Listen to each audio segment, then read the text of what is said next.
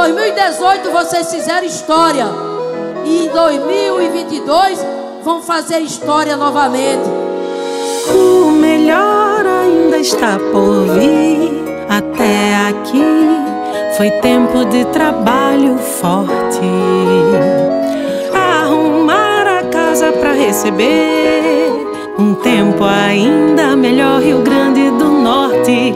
É tempo de avançar, é tempo de colher, tempo de cantar sem medo. É hora de juntar quem já fez acontecer, pra gente ser feliz de novo.